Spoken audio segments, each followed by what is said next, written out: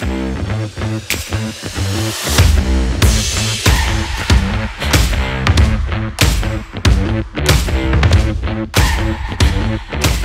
mėlyjeji. Turime šiandien dar vieną Brave Talks laidą ir dar vieną be galo drąsų svečią. E, šiandien pas mus svečiuojasi ir kalbėsime su Gediminu Kvietkausku, kuris yra, drąsiai galiu sakyti, netradicinis ir nestandartinis didelio verslo savininkas, Įstvest Agro įmonės vadovas, bendrai kuriejas. Bet dėl ko Gediminas yra šiandien čia, tai todėl, kad jis užsiema ekstremaliomis pramogomis, kokiamis turbūt papasakos galbūt pats daugiau, um, edukuoja jaunimą, pasisako apie politiką drąsiai, kūrė eilės, uh, daro kūrybinius kažkokius tai savo video ir nebijo viso to pasakyti, nebijo kalbėti apie nesėkmes ir na, visus kitus dalykus. Tai labas Gediminai, ačiū labai, labas, kad atėjai su mumis pasikalbėti. Kai uh, kalbėjom telefonu apie šitą pokalbį, sakei, kad uh, labiausiai norisi kalbėti šiuo metu tau apie nesėkmes, apie kažkokius tai kvailus uh, sprendimus. Tai pasikalbam tada. Pasikalbam, gal žodis nesėkmė, gal netikslų žodis, nes kai jinai vyksta, jinai atrodo nesėkmė. Bet e, kai praeina kažkiek laiko, tai atrodo be galo didelė sėkmė ir didelė patirtis.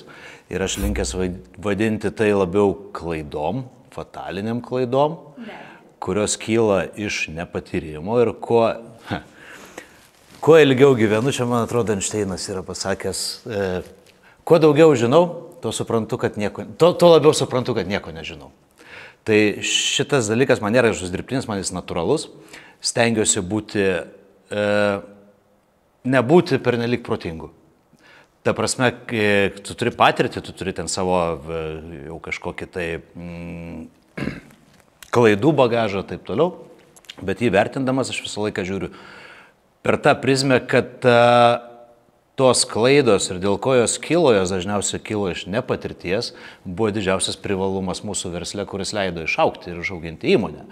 Tai dėl ko aš tą temą pasiūliau kalbėti, už tai, kad šiuo metu kaip tik aktyviai na, e, dirbu ir su studentais, turiu paskaitos formatą apie tai, kad e, labiausiai rezonuoja tai tezė tokia, jaunas žmogus yra durnas ir tai yra didžiausia jo stiprybė. Kodėl? Todėl, kad e, tu nežinai pasiekmių ir kiekvienas tavo žingsnis, kurį tu žengi, jis intuityvus. Ir patirtis kartais neleidžia padaryti teisingų sprendimų. Už tai, kad vėl šnekant apie save. E, prieš kelis metus sakiau savo, kad jeigu dabar žinočiau tiek, kiek žinau dabar ir būčiau 26 metų, kai pradėjom verslą, tai turbūt būčiau to verslo nepradėjęs. Nes ta prasme, patirtis būtų neleidę padaryti tų lemtingų sprendimų, kuriuos mes padarėm ir kurie buvo iš tikrųjų tie fataliniai, kurie įmonė išnešė, stipriai išnešė.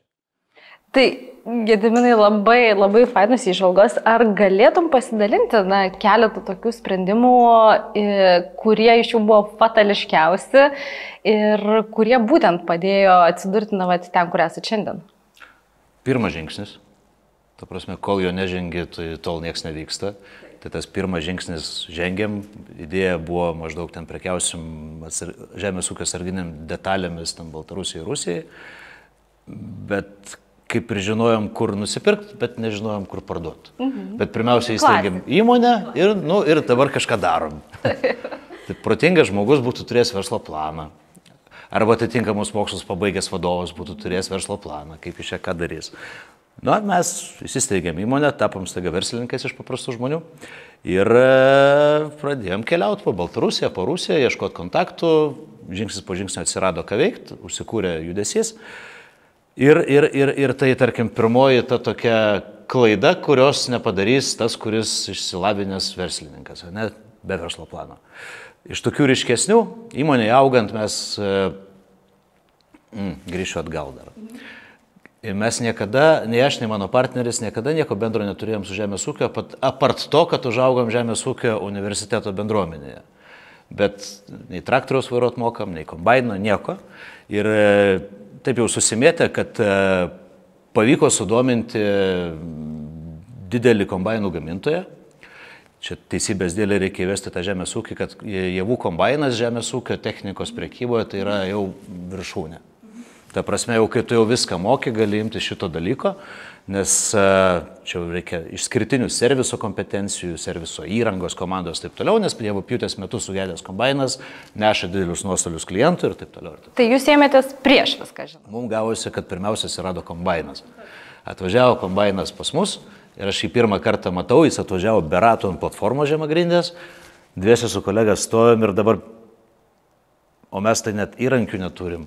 Jį reikia kažkaip nuimti, užmontuotos ratus, kažką daryti, pasiskolinom įrankius, užmontavom ratus dviese pagal instrukciją, nes tikrai nieko nemokam. Tada kitas challenge'as, tai dar tą kombainą reikia įsimilžiniškas, nuvaryti nuo platformos.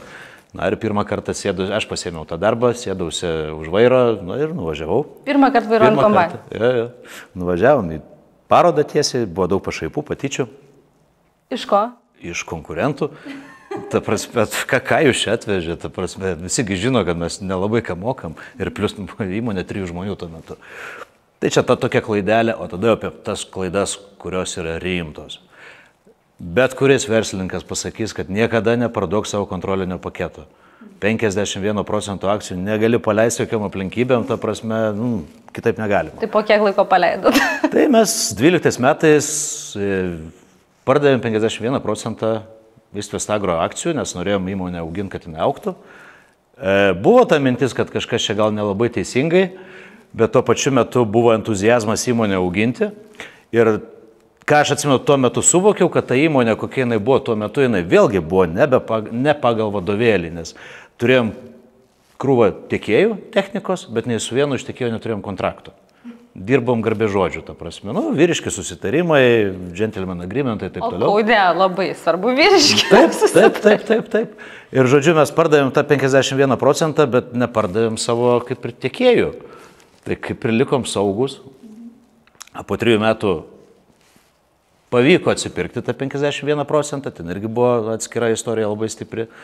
Turėjom perėti naują patirtį, kai reikia ne tik verslui finansuoti pinigų, bet dar reikia pakankamai riebios sumos susigražinti savo akciją savo.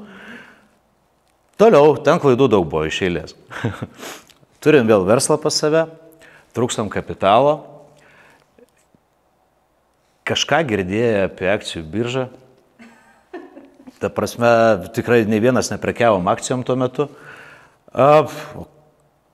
Gal reikia pabandyti, bankai mums pinigų neduoda tuo metu, gal reikia pabandyti biržai įsiplatinti akcijas. Na, pabandėm, pavyko.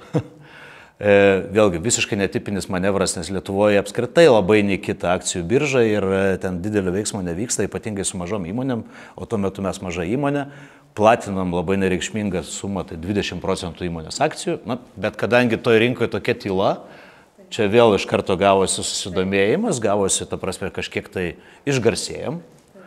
Ir šita klaida mus išnešė į Nasdaq akcijų biržą. Aš e, interpo padarysiu, prisimenu, na, visai mano veikla nesusijusi su agro, agro verslu, tiesiog nuo tiek, kad bendra verslo aplinka domiuosi, tai pamenu, kad kai pasirodė tos žinutės, kad Įstvest Agro pradės mm. platinti savo akcijas, tai tikrai pagalvojau, wow.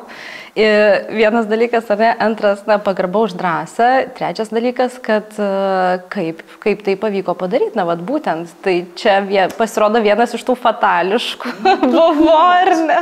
Darai kažką, va bank nelabai suprasdama iki galo, ką pakeliu mokaisi. Mm.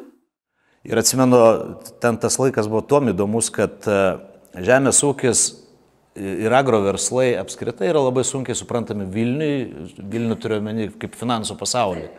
Jiems patinka aiškus dalykai. NT, ten kokia nors ten gamyba, ten viskas labai aišku, prognozuojama taip toliau.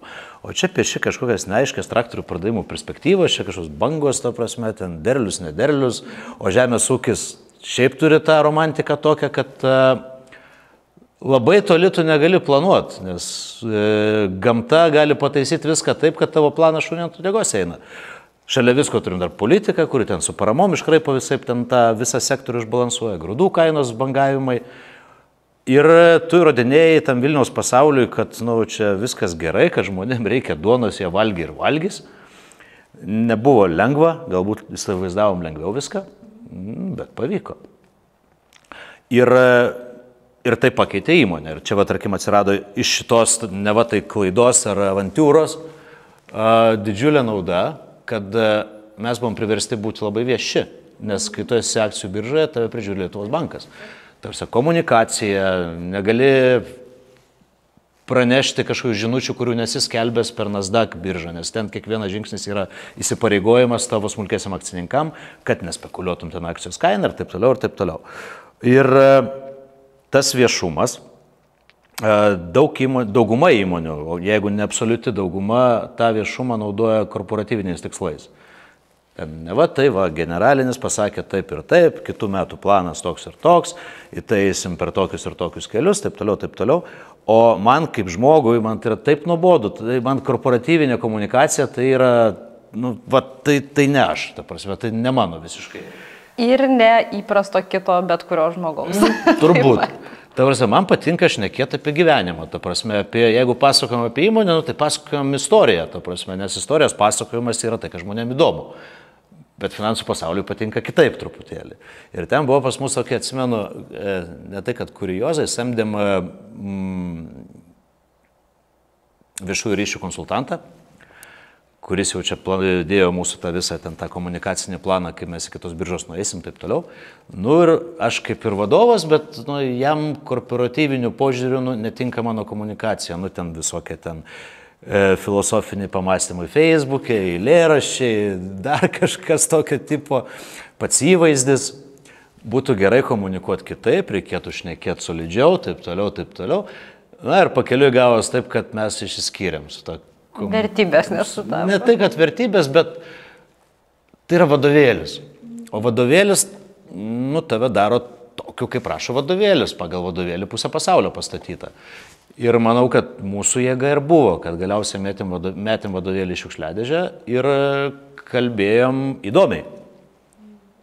Ir turbūt mūsų tas statistinis investuotojas, kuris nupirko tą akciją platinimo metu, tai nebuvo profesionalus investuotojas, tai buvo emocijos pirkėjas. Žmogus, kuris supranta istorijas.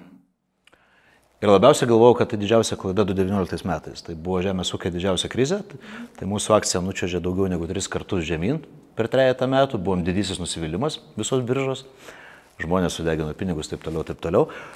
Ir tai slėgė. Ta prasme, tuo metu atrodo, kad e, tu atsakingas už tų žmonių pinigus investuotus, bet irgi tuo pat metu tu supranti, kad nu, nutiko kai kas, ko tu negalėjai numatyti nes nenumatė nei vienas konkurentas. Ten, ten buvo lokali žemės ūkio krizė, kurią ten e, nulėmė pastarųjų dviejų metų blogi derliai. Ten sausros, liūtis ir taip toliau. Ir e, aš mėgstu sakyti, kad pinigai yra įmonės kraujotaka. Tai kraujotaka sustojo 9 mėnesiam. Nei sutarčių, nei pinigų, nieko, ta prasme. Tu komunikuoji rezultatą, dar bandai kažkaip datimpinėti kaž, kažkokios nu, pozityvios minties, nu, jos nėra. Ir žmonės nebetikė. Tai tą šleifą dar ilgai vilkom, bet pavyzdžiui, sekantis metai 20 mes grįžom daugiau, aukščiau negu buvom 18 metais. Ir lygiai ir atrodo, kad turėjo mūsų akcija atsistatyti, bet ne. Rinka yra lėtesnis dalykas, rinka turi atminti, rinka turi nepasitikėjimą ilgesnį. Ir turbūt tik po trijų sėkmingų metų mes jau dabar išlipame tenai, kur jau rinka vėlgi tiki mumis. Mhm. Um, Gediminai apie tą komunikaciją, da, daugybę dalykų noriu yeah. paklausti po šito mūsų ar ne intro. Um, tai kaip vis tik tai, uh, sugrįžtant ar ne apie tas uh, fatalinės klaidas, apie tas patirtis visas, uh, apie tą drąsią komunikaciją, vat, kur ne pagal vadovėlius, ne taip kaip konsultantai rekomenduoja. Kaip manai, kiek tai formuoja jūsų įmonės įvaizdį, kiek prisideda prie, prie viso to, kas jūs esat, ką jūs darot, kaip tai atrodo bendraujant su partneriais, su kolegomis? Tai kausto dėmesį, tai sukuria išskirtinumą, o e, rinkodara yra toks dalykas, jinai yra visur. Jinai yra aprangoje, jinai yra makijažė galų gale merginos, tai irgi rinkodara. Tarsi aš jau apie gyvenimą plačiau. Kiekviename žingsnėje žmogus save parduoda kažkam. Jis net nežino, kad parduoda, jis parduoda. Jaunuolis e, mergina mergina asistoja, jis save pardavinėja, ten rodo savo geriausias ten, mm, kaip pasakyti, savybės. Tuo pat mergina tuo pačiu metu bando atrodyti jam graži, tai yra pardavimai. Visą laiką, kiekvienam žingsniui yra rinkodara ir pardavimai, tai neatsiejama. Tai kai yra nuobodi rinkodara arba ta standartinė, jinai yra standartinė rinkodara lengvai atpažįstama. Kai rašo žmogus, kuris išgyvena tai, ar rašo žmogus, kuris pasamdytas parašyti, ką išgyvena šitas verslas, yra didžiulis skirtumas ir aš, pavyzdžiui, visada jaučiu didžiulę atmetimo reakciją, jeigu pamatau partnerio turinys straipsnėje. Nu, nu, nu kamo, hebra, ta prasme, nu, nusipirkti savo, papasakoti apie tai, koks fainas, esam tą darę, ta prasme, tikrai esam bet visiškai netinka, nepatinka ir taip toliau ir labai labai erzina. Norisi, kad tu būtum įdomus ir kaip verslas įdomus, nes mes atėjome į žemės ūkio technikos pardavimų pasaulį, būdami ne žemės ūkio žmonės visiškai. Ir rinka jau buvo susiformavusi iki tiek, kad ta prasme ten kojos įkelt nėra kur, visur viskas užimta, nes čia brandų biznis, mes pardavinėjom brandus. Bet būtent rinkodara ir komunikacija pradėjom daryti pirmieji. Paskui mus jau jie tik tai bandė daryti tai, ką mes darom, bet jie samdė kažką, kad jiem darytų, o na, aš pagirsiu save šitoje vietoje, nu ne tai, kad pagirsiu, bet aš esu humanitaras, aš esu filologas, man patinka rašyti, knygos, istorija, taip toliau. Ir įmonė galiausiai vis tiek susistapatina su to vedliu, ta prasme. Ir žmonės, kurie ateina dirbti tą įmonę, dažniausiai priima tavo filosofiją, nes jeigu tu kitoks korporatyvas, tai buvo ir taip, nu, tau tiesiog netinka čia būti, nepatinka. Tau reikia griežtos tvarkos, tau reikia, tau teikia malonumą ar net kažkokią tai savivertės pakelimą kaklaraištis, ta prasme, kad va aš, matai, jau kažką pasiekęs. Ko pas jūs nėra, kaip suprantu. Nėra, nėra, nėra. Ir kuo toliau, tuo mažiau. Ir e, kadangi aš esu savo verslo kuriejas, kartu su savo partneriu ir vėliau jau po e, akcijų išplatimo ir partneriais mūsų daugiau pasidarė. Man per sudėtinga kalbėti ne savo lūpomis. Dar mes turėjom irgi komunikacijos agentūrą, kuri jau tam pirminiam periode rašė mums netgi ir straipsnius, na, kokius reikia rašyti. Tai truko tikrai pakankamai trumpą laiką, kol nu, aš filologas, aš rašau, Ir, ir aš pats galiu viską parašyti ir galų gale gaunasi taip, kad mintis pateikia pats, kažkas kitas už tave parašo. Ir tada kažkaip vėlniop, nu tai tada aš pasirašau. Ir pradėjom visiškai kitaip veikti. Tai e, iš tikrųjų aš girdžiu, kad yra žmonių, ypač iš mūsų klientų rato ir iš konkurentų rato ypatingai, kad jie mistifikuoja ir galvoja, kad tarkim mano tekstus arba mano tas kūrybinės idėjas kažkas kūrė čia, komanda kažkokia yra. Nėra, yra komanda, visa įmonė yra komanda, bet ta prasme tai nėra kažkas darantis kūrybinį darbą už mane patį ir ar už mus. Kuri idėja, jeigu turi laiko pas parašai, aprašai, jeigu neturi laiko arba gali deleguoti kažką, kad va, tu sakai, ką tu dabar padaryk, žinai, nu ten įvykdy kažkokią tai mintį. Tai taip jo, tai būna, bet idėjų generatorius vadovas, yra didžiulis, didžiulis privalumas komper, komper, konkurencijai. ir, na, va, mėlyje, pasišnekėjom apie vadovėlinį tobulo personal branding atvejį. Ne, nesurepetuota kalba visiškai, bet gedvinai, da, tiesiog privalau pagarsinti, kad pritariu kiekvienam žodžiui, nes uh, norim istorijų, norim žmonių, norim pažinti, kuo geriau pažįstam, tuo labiau pasimatuojam ar sutampa vertybės ir tada atsiranda tas abipusis ryšys. Um, tada kitas klausimas iš to išplaukiantis, o kaip yra, na, su tavat drąsa eiti dar toliau, na, va, tarkim, eilės, tai yra um, tos gilesnės savęs dalies atskleidimas, na toks tarsi ar ne, savo kūrybos iškelimas, parodimas drąsiai, arba kažkokie pasisakymai apie politiką, arba kažkokio asmenio gyvenimo pasidalinimai. Tai yra turbūt top 3 dalykai, kurių labiausiai bijo vadovai, kiek man tenka susidurti. O va štai atėjusi tavo socialinius tinklus, ten gali pamatyti jo, viską. Ir tada aš išskirčiau vis tiek du tipus vadovų. Vieni yra samdomi. Ir samdomas vadovas turi baimę ne tik, ką žmonės pasakys, ką akcininkai pasakys ir kaip reaguos. Ir tą laisvę yra gera turėti, kad tu nu, neturi žmogaus, kuris gali tau pasakyti, nu, tu čia negerai pakalbėjai, mano manimu, taip kalbėti negalima, būkim pilki neutralūs, nebe, ne, nebekomentuokim. O čia tai irgi turbūt yra asmeninės savybės. Na, man, man patinka būti atviram. Man patinka kalbėti, ta prasme, nu, nelaikant nieko užantį, aišku, čia nešnekant apie ten kokį žaidžiantį turinį, ta prasme, tai jau ne, bet uh, eilės. Tai eilės jos jau senai pas mane yra, jos kartais suaktyvėja, kartais sumažėja, va dabar sumažėja šiuo metu. Tai kurį laiką aš tas eilės slėpiau, nes tai, na, ne va tai nebaisiai ir vyriška, ar ne? Tai yra taip kažkaip jautru, čia gal nereikėtų. A, po truputėlį, po truputėlį, pabandai vieną kartą parašyti, kitą kartą parašyti, e, jau viešai paviešinti, gauni gerą feedbacką. Aš turėjau susikūręs ir savo eilių puslapį Facebook'e kaip atskirą profilį, bet susikūriau dėl to, kad truputėlį nedrasu buvo su savim susijęt. Galiausiai, na, nori, nenori, tai susisieja. O kas žmonėm įdomu? Žmonėm įdomu veidai. Veidai turi spalvų, jie turi ir gerų spalvų, ir blogų spalvų, bet jie turi būti gyvi žmonės, tikri žmonės. Ir kuo toliau mastau apie komunikaciją, aš jau galvoju, kad aš gerai tenai darau daug dalykų, daug dalykų natūraliai gerai gaunasi, tai nuogumas yra e, žiniasklaidos pritraukimo priemonė, visų pirma. Ta prasme, žmonėm įdomu. Ir aš šitoje vietoje, tarp kitos, su žiniasklaida žiauriai kariauju. Ta prasme, žemės ūkis yra antiek paraštėse žiniasklaidoje ir visi šitie verslai, kad žemės ūkija yra tokie neįdomus, kad, pavyzdžiui, rašo straipsnį apie bet kurią iš mūsų įmonių, bet iliustracija yra koks nors kombainas arba grūdų sauja. Ir, ir dar užpirtas straipsnis. Nu, dievulio mano, mes nebeperkam spaudoje reklamos kaip tokios ar užsakomųjų straipsnių tikrai daug metų.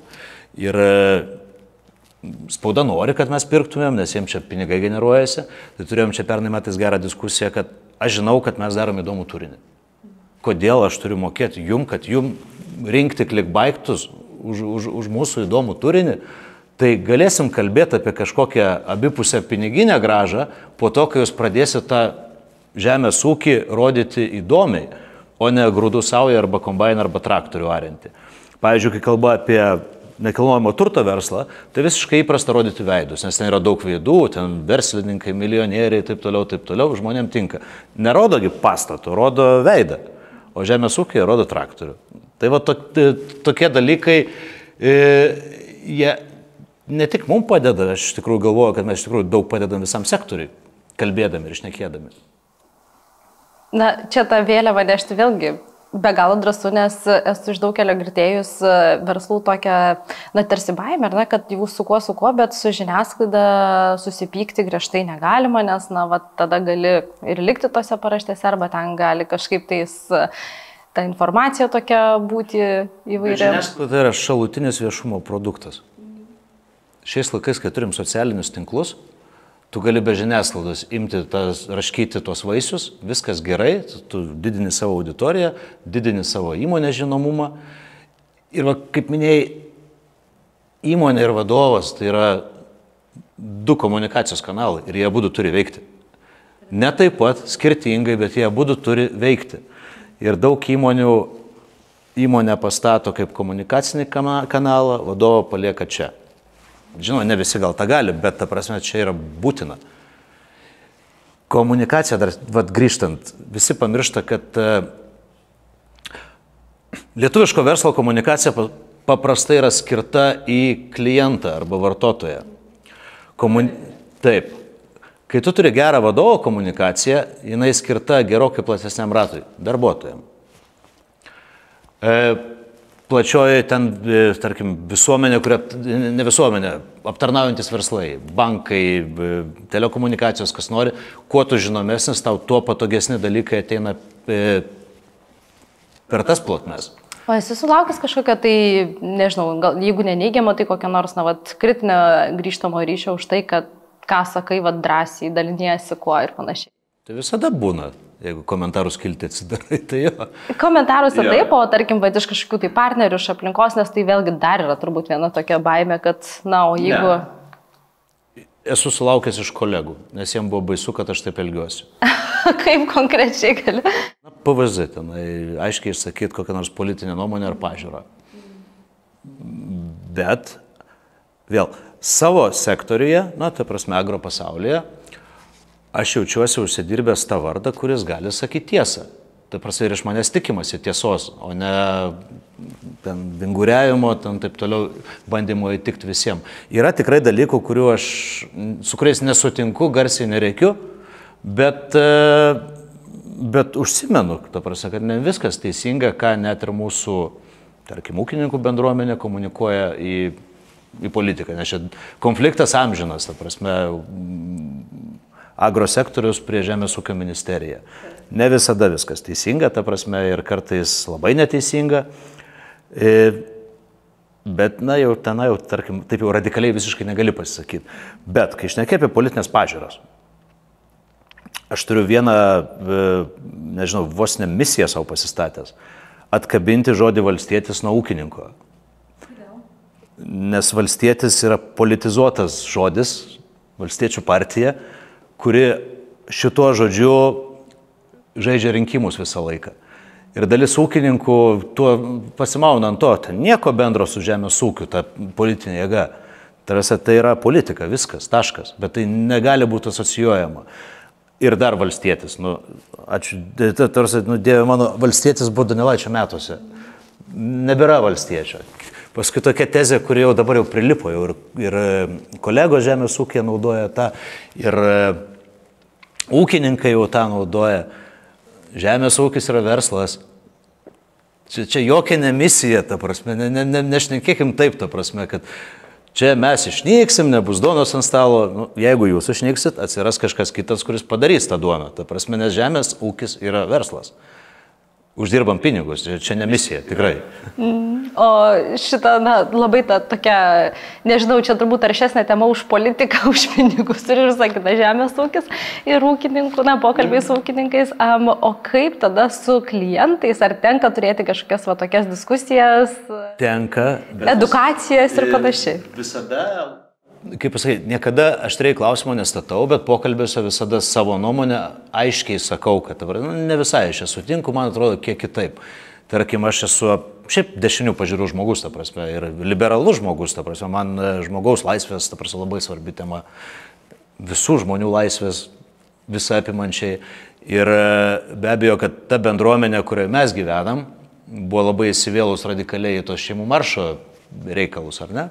Tai aš negaliu slėpti, kad, ta prasme, šeimų maršas man nepatinka konceptualiai, ta prasme, čia yra blogai. Ta prasme, tai yra destrukcinis dalykas visiškai. Tai šitų dalykų kaip ir, na, pavyko neslėpti. Mano Facebook'e tai prasivalė draugų ir klientų, kai kurių prasivalė. Ta prasme, bet, bet būtų labiau neteisinga apsimesti, kad aš to pasaulio dalis. Ne, aš ne to pasaulio dalis. Aš kitaip matau. Ir šitoje vietoje vėlgi teorija sako, kad tu taip daryti negali. Ta prasme, jeigu tu esi versle, tu turi taikytis prie visų, su visais draugauti. Kaip pavyzdžiui, e, gerbiamas Lubys, amžinatilsi, mėgdavo finansuoti visas politinės partijas po lygiai. Nesvarbu, kokios pažiūrės, bet visas, nes kažkuri kortą vis tiek paės. tai... Jo, jo, jo. Bet šitoje vietoje vat, irgi ką darėm kitaip. Mano pirmtakai, tavarsi, e, konkurentai, kurie gerokai vyresnio amžiaus, tavarsi, jie ateina iš posovietinės tos privatizacijos bangos, jų verslas visada buvo priklausomas nuo politikos ir jie visada stengiasi politikoje tą verslą ir daryti, ta prasme, įtakoti sprendimus, draugauti su ministerijom, taip toliau, taip toliau. Neturiu jokio kontakto, išstojęs iš visų asociacijų, esam visiškai vienišas vilkas, darom taip, kaip mums atrodo, kad reikia daryti. Jeigu mes savo verslą pastatysime tai, kad mes priklausome dar nuo politikos kaip verslas, užtenka, kad mums gamta įtakoja ten paramos taip toliau, na, man tai yra neteisinga, nemalonu visų pirma, nes verslas su politika yra neskanu, visada neskanu. Nepaisant to, 35 milijonai berots apyvarta pernai metais, šimto žmonių beveik komanda ir akcinė bendrovė, didžiulis verslas. Tai gedivinai, kas tada yra na, tas variklis, kas yra tada ta, banalu sakyti, bet sėkmės formulė, jeigu ne pažintis, jeigu ne tradicinis vadovėlinis modelis, jeigu ne pataikavimas klientui. Santykiai. Pataikavimas irgi santykis, bet tarkim nelabai geras santykis. Jeigu tu nueisi pataikavimo keliu, tai anksčiau vėliau tu vis tiek esi silpnoji pusė. Nes tas, kuriam tu pataikauji, jis yra stiprioji pusė visada. Pažįstu kiekvieną savo žmogų. Ir ne šiaip, kad pažįstu, man nuoširdžiai įdomu, kaip jisai gyvena, tikrai yra noras, kad jisai ir tobulėtų, ir e, jo gerbuvis gerėtų ir taip toliau. Ir tai žmonėms žaidžia iš tikrųjų, jeigu tai nėra dirbtina. Jeigu tai yra dirbtina, o dirbtina yra išaras. Išarui nuoširdžiai neįdomu. Jis turi KPI'sus, kuriuos turi perduoti vadovui. O tada išdrįsiu paklausti prieš kameras, kokia tada kaita yra, kai turite tokius santykius? Kaita vis tiek yra visur. Ta prasme, jinai neišvengiama. Pavyzdžiui, kitą kartą kaita įvyksta dėl tokių dalykų kaip geras pardavėjas, technikos ar, be, ar bet koks kitas geras pardavėjas kažkada pavarksta pardavinėti, dažniausiai pavarksta ir tikrai žmogui noris pokyčio. Ir jeigu tu savo įmonėje va, tuo metu neturi ką jam pasiūlyti pokyčiui, tarkim, karjeros tuo metu nu, nėra kur pakelt. Yra natūralu, kad kartais tenka atsisveikinti ir taip, bet yra geri atsisveikinimai. A, retai bet būna, kai ta, kai tave permuša pinigais, ta prasme, kažkoks konkurentas. E, viena vertus tai yra labai neskanu, bet kita vertus Na, žinokit, aš jaučiuosi labai gerai, kad kai kurios mano žmonės pirko mano konkurentai brangiai. Tai reiškia, mano mokykla gerai vertina. Ta prasme, reiškia, yra už ką mokėti. Nes aš tiek nebūčiau mokėjęs. Man per daug. ir, ir, ir, ir ta kaita yra, jinai, sakyčiau, gerokai mažesnė negu konkurenciniai rinkoje. Įmonės brandolys, tie, kas, kas formuoja įmonę, kas, kas, kas, kas iš tiesų ją libdo, Nes e, ne vadovas stato įmonės, įmonė stato žmonės, ta prasme, jeigu yra bendras tikslas, yra bendra vizija, man labai padėjo, man nebereikia dažnai rūpintis, ką ten tas žmogus padarys, aš žinau, kad jis padarys gerai, jis jau mūsų sistemoje viskas. Tai, e, tai pas mūsų konkurencija gerai. E, su rotacija žmonių gerai. O dar prieš e, filmavimą paplėpėjom, kad e, ir kitų dalykų nedarot savo įmonė arba darot kitaip. Pavyzdžiui, užsiminiai, kad nesamdot konsultantų ir nemėgstat patarimų ir patarėjų. Mm. Ar gali čia papasakoti šitą sprendimą, kaip na va... Šių laikų visuomenės lyga - coachingas. Aš žodžio nekenčiu garbė žodės. Aš tikiu, kad yra gerų coacherių, aš tikiu, kad yra žmonių, kurie gali duoti naudą. Bet coachingas Lietuvoje o gal ir ne tik Lietuvoje, nuvalkiotas iki tokios banalybės, kur kiekvienas žmogus, nu jau nieko nemoku, tai numokyti. Pasiskaičiau vadovėlių, klišinių tekstų kelis ir varau mokyti. Nu tai yra blogai. Tai visų pirma, dėl kaip reiškinio tokio. A, ką daro patarėjas? Apskritai gyvenime, kas yra patarėjas? Aš labai nemėgstu patarimų gyvenime. Ir ne tai, kad aš niekada jų neprašau, Tarsi aš galiu pakalbėti su kažkuo apie savo situaciją, bet aš neprašau patarimo. Na, dažniausiai su patarimais tas yra, kad jie ateina neprašyti. jo. Ir mane patarimas iš karto alergizuoja, iš karto atmeta, nu, nu, tu negyvenai mano gyvenimo ir tu negyvenai mano situacijos. Net e, trumpam periode tu jos net neįsivaizduoji. Nu, kodėl tu dabar drįsi man patart, ką nors? Nu, man nereikia, ačiū. Bet kaučingas e, ten ir nuvažiavo, jie nuvažiavo kažkokius patarėjus visokius ten įvairiais klausimais. O kas link personalo mokymų, ypatingai kai išnekam apie pardavimus, rinkodara tarp kitko irgi, e, pardavimai ypatingai turi vieną bėdą. Tarsi, pardavimas yra žmonės, tam, kurie turi tam tikrų gabumų, bet kas negali pardavinėti. Bet tie jų gabumai vis dar labai skirtingi, nes žmonės skirtingi. O pardavimų mokymai Tegul oponuoja ir sako, kad yra ne taip, kas nori, bet aš žinau, kad yra taip. Kadangi tu šneki su žmonių grupė, tu esi standartizavęs algoritmą, ką jiem papasakot. Ten, kaip bendrauti su klientu, kaip čia būti kultūringu, ten neišsišokti, kaip ten atpažinti veido fenotipą, atpažinti sangviniką, flegmatiką, taip toliau, kaip su kuriuo šnekėt. Ir tai su, sudėlioja veiksmų planą į dėžutę. Ir žmogus pradėjęs dirbti, ta prasme, ypatingai jeigu tai yra jaunas, nepatyręs pardavėjas, jis pradeda nuo dėžutės, jis to dėžutį paskesta ir užgesta.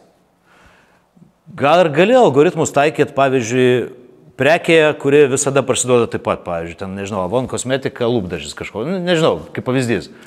Gal ir tie patys principai, bet dažniausiai tai yra daug skirtingų žmonių, ypatingai, kai mes pardavinėm brangius daiktus, ta prasme, nu jie ne tai, kad brangus, jie ten ir 100 tūkstančių kainuoja, ir 600 tūkstančių būna.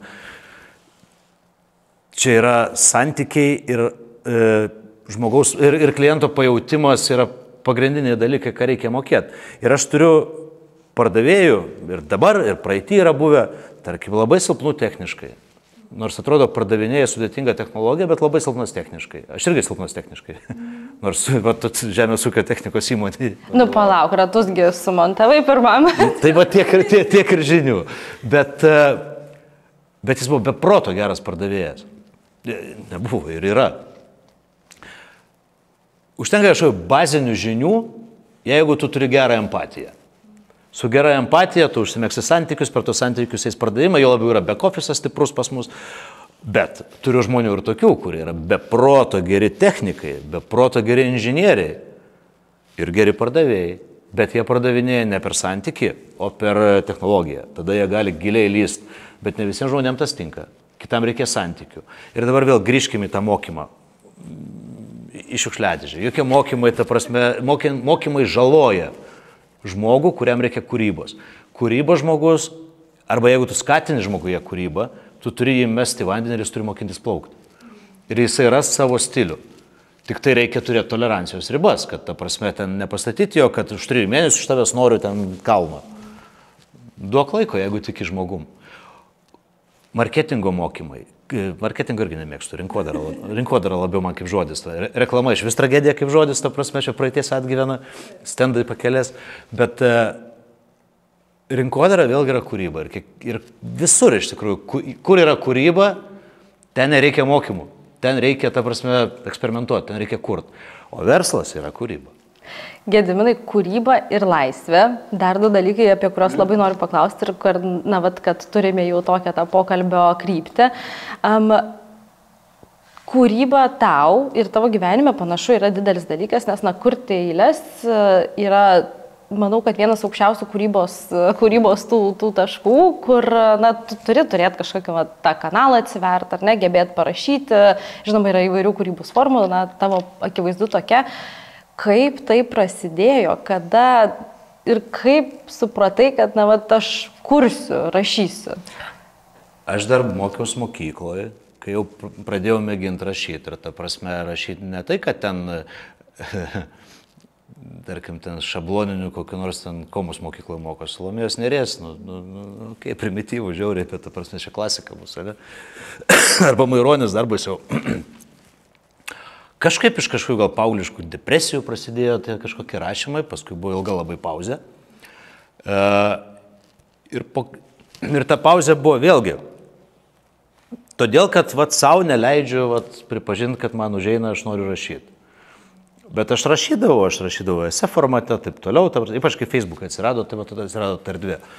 Bet e, būna taip, staiga, žinai, kažkokia mintis užėjo, o painai dar kažkokį ritmą pagavo, susirimavo su kažkuo. Mm, važiuojam. tai jeigu spėjau užsirašyti tą pradžią, tai galiu užsirašyti pasidėti. Jeigu neturiu galimybės dabar, ta prasme, bet e, po to galiu pabaigti. O jeigu jau turiu laiko, tada iš karto ir kepi. Įvairiai būna, bet dabar dirbtinai tas nepasidaro. Net atsisėdau dabar, nu, rašau, žinai, apie, apie medį. Ar sulauksim knygutės kažkokios? Aš kažkada iš tikrųjų tikiuosi, man dar kažkaip tai kukliai per mažai tų mano eilėraščių, nes aš filologas, man gaunasi taip, kad, na, nu, aš mokiausi lietuvių filologiją tris metus, tarp kitko, kad aš parašau ir tada aš dar iššlifuoju, dailinu, ten dar kitą kartą mėnesį laiko užtrunki, kol va taip, va, jau dabar kablelis vietoje, man gražu. O ta kūryba, tai ta prasme, visi turi kūrybą, tik jinai labai skirtinga visur. Ir Gal jokingai skamba, bet e, kai aš buvau paauglys, ten jaunuolis, studentas, aš žiauriai norėjau būti gitaristų metalo grupėje. Nu, žiauriai, ta prasme, atrodė tokia svajonė, bet turiu bėdą, aš neturiu klausos, absoliučiai neturiu. Aš, aš, Čia mes abu vienodi. Aš negaliu groti, tiesiog man gražu yra, rokas, man viskas tvarkoja, nu, bet negaliu. Nu. Uh, ir nesenai pradėjau galvoti, gavau aš tą savo gitarą. Mhm. Tik tai ta gitara yra verslas. Ir e, tai, kaip mes darom tą verslą, bet ir yra rokas, to prasme. Tai ir yra laisvė, tai yra uh, taisyklių nebuvimas. Tu gali daryti rėkiančius dalykus, ta prasme, gali užriaumot komunikacijai, pritrauk dėmesį, gali kur gabalus, ta prasme, tie gabalai, tarp kitko, jie, uh, jie virsta ten video filmų kokiu nors, kokiu nors ten uh, rekordo siekimų, dar kažko, ta prasme, bet tai yra drivas, ta prasme, Nu, nedavė man balso, tai nedavė, bet davė gitarą, kitokią. um, trumpas interpas mūsų žiūrovams.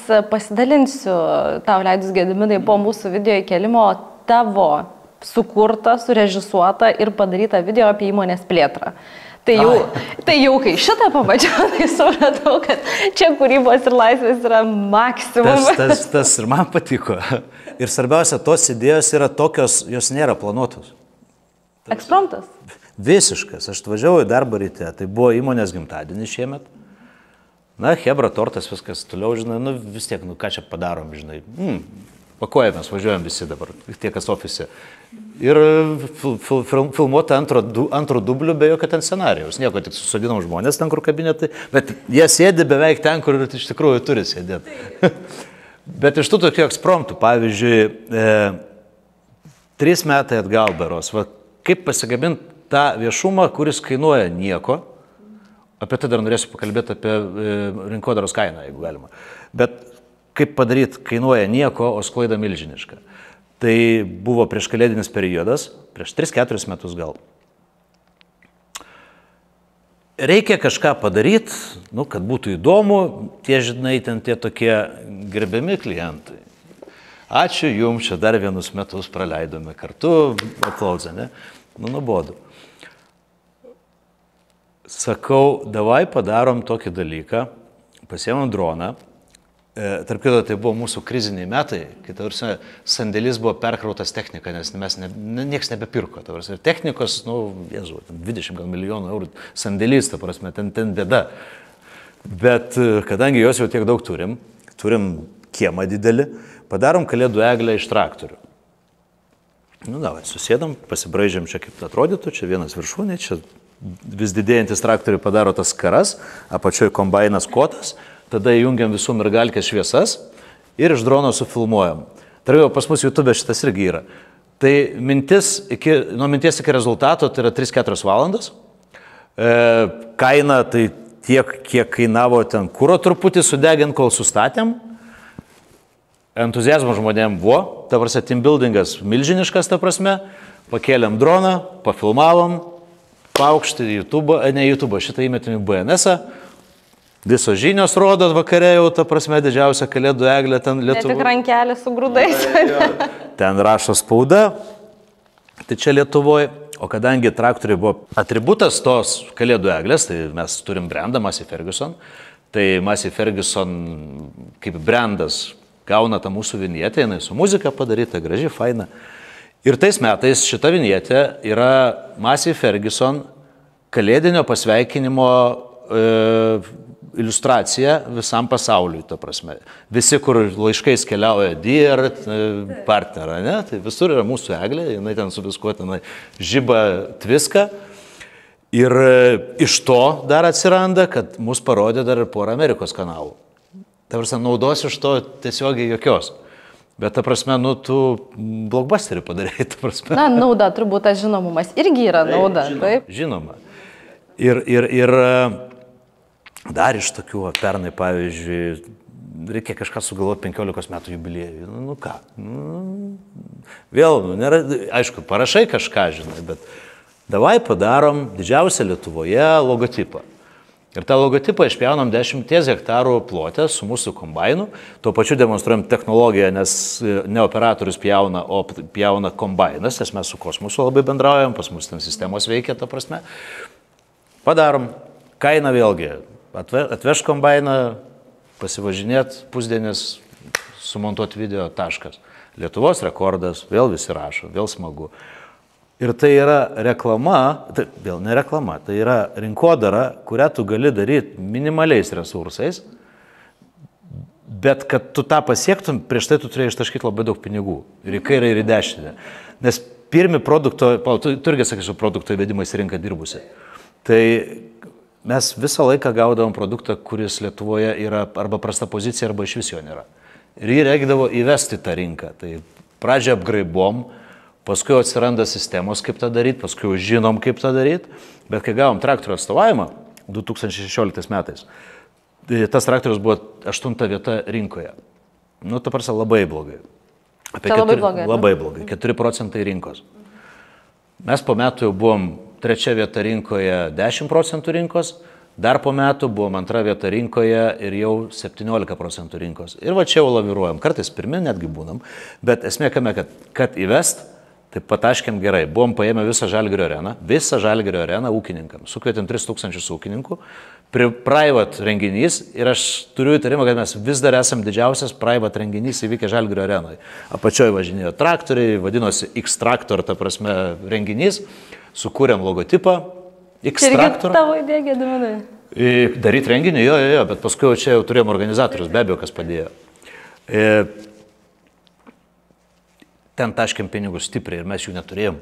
Ta prasme, tuo metu net nemoki to suprast, pats žinai, kad tu čia taip va bankiai eini, ta prasme, kad taip va bank, nes kaip tik po to ir buvo ta krizė, kai, nu, Jėzau, atrodo, atrodytų, logika jau sako, kad va čia va prisidirbom, tadagi išsitaškėm, blepa, o dabar kaip reikia tų pinigėlių. Ir vis tik ne. Mes tada užkėlėm kartelę taip aukštai ir suformavom savo įvaizdį klientam, kad mes mm, galim tai sauliaisti. Why not, žinai, mes kiti, žinai, turim pinigų. Ir vis tik iš to atėjo ir pasitikėjimas. Tai užkėlė e, pardavimus. Ok, buvo krizė 19 metai, nukritom, bet 20 metais mes tapom pirmi rinkoje. Tai žodžiu, šuolis nuo minus milijono iki plus milijono, ta prasme, per, per, per dviejų metų balansą. Ir vis tik va, tie žingsniai, kuriuos padarėm tada labai brangiai, Nes turėjom ir TV laidą, tarp kitko, tra, didžiasis traktorių lenktynės, Tarkus Radzevičius važiavo ten per Lietuvą. Ir tai davė rezultatą gerokai vėliau. Dabar mums nebereikia daryti tokių brangių dalykų. Mums užtenka, kadangi mes matom ir, ir mumis domisi, ta prasme, ūkininkai, net tie, kurie nemėgsta, mūsų vis tiek įdomu, ta prasme, ką jie čia daro. Tai mūsų projektai visai kitaip veikia. Gediminai privalau paklausti. Neplanuoji kokios rinkodaros agentūros? Aš šiaip žiauriai norėčiau tą daryti. Žiauriai. Tau reikėtų tą daryti, jeigu tik turi laiko. Aš žiauriai tą norėčiau daryti. Nes, žinai, kaip tu sakai, kad e, įgyvendinimas nedaug kainuoja, na, dažnais atvejais, arba dabar jūsų pastaraisiais atvejais, tai galiu tik paantrinti, kad daugiausiai mokamų žydėjas. Tai jeigu tos idėjos gimsta ir yra kanalas, per kurias jos va, tokiu būdu ateina, na tada manau, kad... Aš ko nemoku, aš nemoku agentūros daryti. Oi, išmokot traktorius pardavinėti agentūrą, čia manau, kad žinok, jeigu ką pasitarsim, bet nu Davai, čia... Pagalvojam. Ne, šiaip žiauriai norėčiau. Tarsi man rinkodara yra, aš visada kritiškai žiūriu ir tai, ką matau visur rinkodara žinau, kas mane natūraliai vimdo, ta prasme, kas, nu, nu, kaip jūs galite šitaip, ta prasme, tai yra baisu. E, ir nesakyčiau, kad aš labai domiuos rinkodaros teorija. Ta prasme, aš žiūriu turinį, limpa, nelimpa, iš to turinio visada bandau kaip vartotojas supras, kas mane limpa ir kaip vartotojas supras, kas turi lipti ir iš to kartais vat ir gaunasi tie organiniai projektai, kur kur darai dalykus, kurių niekas nedarė iki tol, ta prasme, ir tai, ir tai faina. Tik tai gaila, kad žemės ūkio taip mažai žmonių domisi. Tai aš manau, kad su tavo pagalba, tavo brandu įvairiapusišku, galbūt kažkiek šitą laidą labai tikiuosi, na, mes paskleisim tą žinutę, bent jau pastebėti tai, ką darot. Um, apie laisvę dar. Mm. Kūrybai laisvė būtina. Mm. Panašu, kad visam jūsų veikimui, visai įmoniai, tau kaip žmogui laisvė yra na, tas dalykas, kuris turbūt labai labai labai svarbus. Įtariu, kad nelaisvė arba bandymas ją suvaržyti smauktų iš to, ką girdžiu. Kaip tvarkaisi, kai kažkas bando tai padaryti, kai reikia tai padaryti, arba na, tose situacijose, kai neišeina būti laisvam? Na, bandai kartais save, kaip pasakyti, uždaryti, ten pririštos sparnus, kad jie neplasnuotų stipriai. Bet uh, čia tas pats ne tik su manim, su bet kuriuo žmogum, kai tu turi prievolę daryti, tai tavo aistra daryti, na, gerokai, gerokai žemesnė, negu tu turi malonumą daryti, o malonumą tu turi per laisvę. Ir e, netgi mūsų įmonės, tarkim, vidinė kultūra yra pakankamai laisva, vėl grįžtant į aprangą. Ta prasme, nu, netinka pas mus žmogus, kuriam reikia griež, griežto tono Bet pas mus tinka žmogus, kuris, vat, ne, nereiškia, kad baisiai apsireng, bet aš noriu nu, jaustis laisvai, viskas, ta prasme. E, čia apie dreskodą, kad, e, tarp tas dalykas dar ką duoda. Yra konkurentų arba rinkos dalyvių, kur dreskodas tas griežtas kostiumas, bankinis stilius, mūsų klientas dažnai jaučia įtampą atėjęs bendrauti su tokiu žmogum, nes tada, nu, tu bent... Aš paprastas, o čia jau toks, žinai, kažkoks išsilavinęs dėdės, čia apie finansus šneka kažkokiu, žinai, nu, man baisu, ta prasme. O pas mus jis atsipalaiduoja, jam laisva, ta prasme. Tada e, neturim griežtų taisyklių, kaip, tarkim, apskaičiuoti tavo darbo laiką. Neši rezultatą, dėliokis tą savo laiką, kaip tu nori, ta prasme, jau kai išmokai gyventi ir sukti savo rutiną, viskas tvarkoja. O man laisvė, tai man labai labai svarbu. Mm, ne tai, kad ta blogąją prasme laisvė, kad darau, ką noriu, bet e, galiu įgyvendinti idėjas, turiu, jau dabar turiu laisvę vėl parizikuoti, paklyst kažkiek. Bet per tuos dalykus tu gauni didžiausias patirtis. Ir e, šiandien geras skaičiau, tarp kitko, šiaip apie karo kontekste buvo, Bandera yra pasakęs, tai čia senai, čia pirmas pasaulinis karas beras, ne, kad e, žmogus, kuris pasirinko duoną vietoj laisvės, ilgainiui neturės ir duonos, bet žmogus, kuris pasirinko laisvę, ilgainiui turės ir duoną, ir laisvę. Tai čia vėl, ta varsia, tai yra daug plačiau negu karo kontekstas ar ten tautų išlikimo kontekstas. Tai yra, tu gali pasirinkti gerą algą šiandien. Bet jeigu tu nueisi ten, kur nėra tavo kūrybinės laisvės ir tu tobulėjai tik tai algos pagrindu, ilgainiui tu tos algos neturėsi, nes tu užgesi, tave pakeis. Ir tavo karjera nuo ten gali kristi ten. Taip ir baigsis. O kai tu esi laisvas, Tu gali keisti ir darbą, viskas, viskas tvarkoja, bet tu turi ieško darbo, kuris tave moko ir, ir, ir, ir moko skristi galų galę, ta prasme, kad ir savarankiškai kažkada pradėtum skristi. Kaip padedi žmonėms, kur matai, kad, na, galbūt kažkokie yra suvaržymai, galbūt, na, šeimoje vaikai, ar ne, būna, na, vis tiek mes esam tie mokytojai, galbūt darbuotojai, galbūt kolegos, galbūt draugai, kai matai, kad, na, galima turėti tos daugiau laisvės ir, na, va, norisi kažkaip tais padėti žmogui tą pasiekti? Ar apsiemi kažkaip tais, na, va, padrasinti? Tai visur tu to nesuspėsi, bet yra nu, savaime suprantamų dalykų, tarkim, knygelė tokia įmonė, kad e, pas mus tikrai nėra streso, kad va, noriu tėvadienio, kaip čia man dabar jo pasiprašyti. Tiesiog yra algoritmas, tiesiog atnešiai, kad tai nu tėvadienį, penktadienį. Balionės aš žinau, kad jeigu tu eini tėvadienį, tai reiškia, tu viską susitvarkęs, ta prasme, nes nu, Kitu atveju tu turbūt neįtum tam tėvadienį kažkaip, kažkaip taip. Ir tas pas, pasitikėjimo kreditas žmonėm iš tikrųjų jisai nu, grįžta dešimteriopai, iš tikrųjų. E, vėl įvairių problemų yra, kuriuose įmonėse tai kelia įtampą, pavyzdžiui, ten vėl mm, serga vaikas, žmogus stresuoja, reikia tos laisvos dienos prižiūrėti, ieško ten kuom pakeisti, jezu, varyk, čia, čia svarbiau, ta prasme, ten įmonė nenumirs dėl to, kad tu vieną šiandien nepabuvai.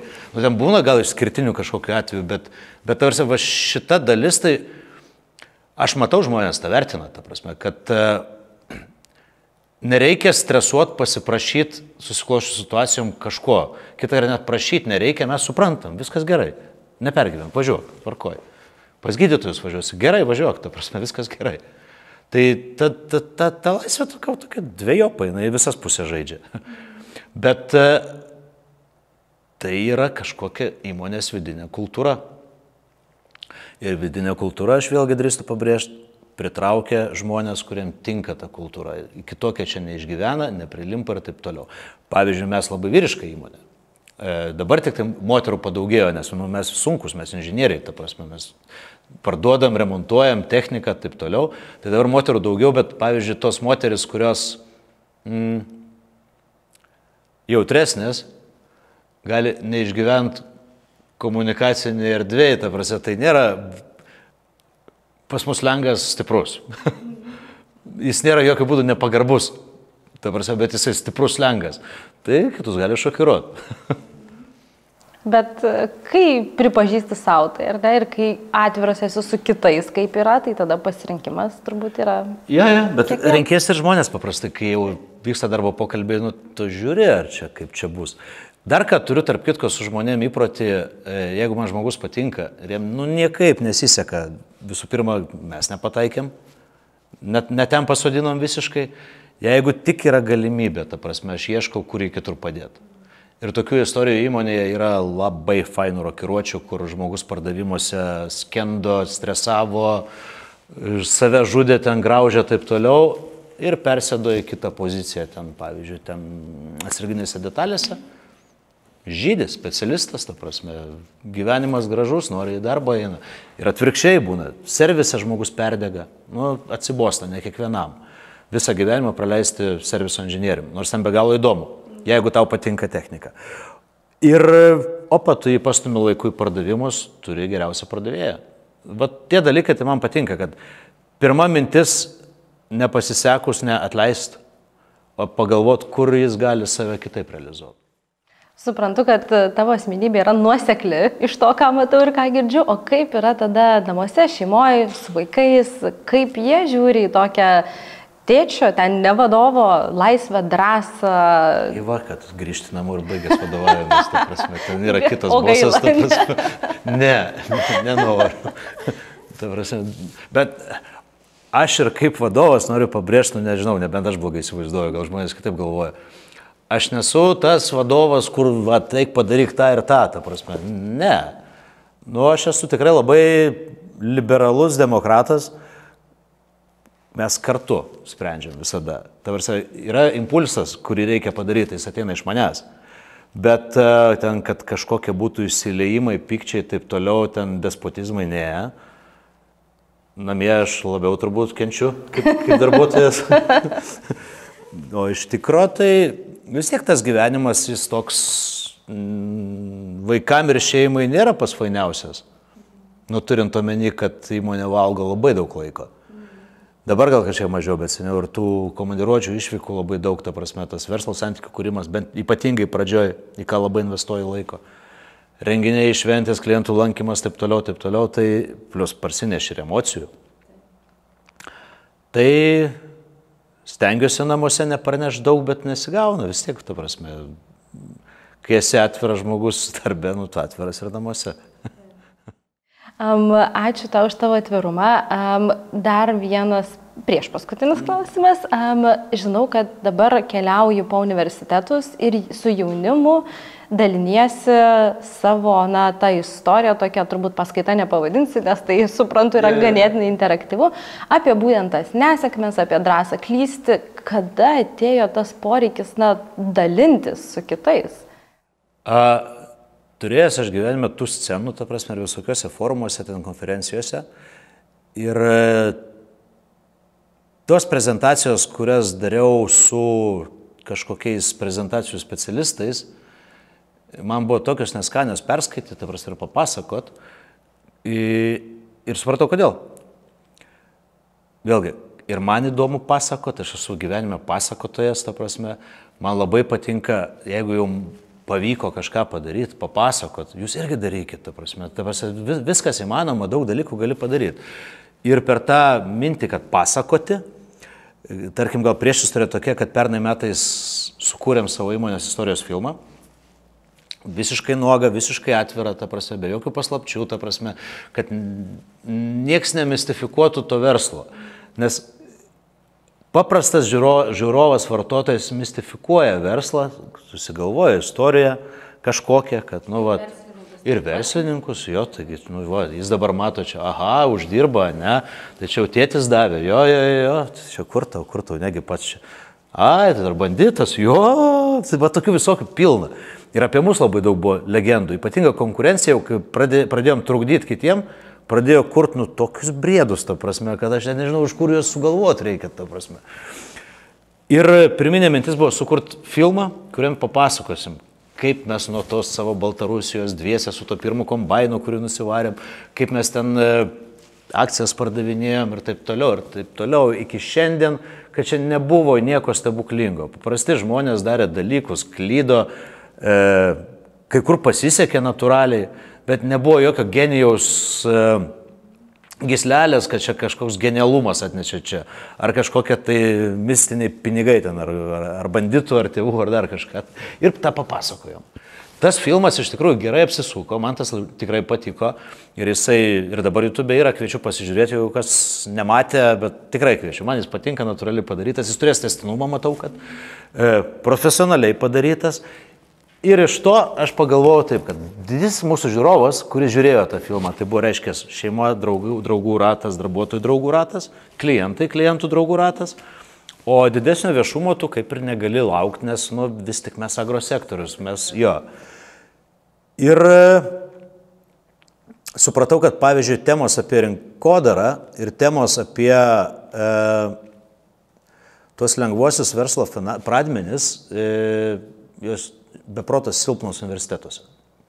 Ir jie trūksta, jiems trūksta gyvų istorijų. Dažnai dėstytojas pasakoja apie ką? Apie analizuojamą business case, nagrinėja ten kažkokią tai įmonę, kaip ten vienai vystės, kodėl vystės, taip toliau, kodėl tą darė, bet jis tame negyvena, jis įspėja, kad tai buvo arba skaitė spaudoje, kad tai buvo.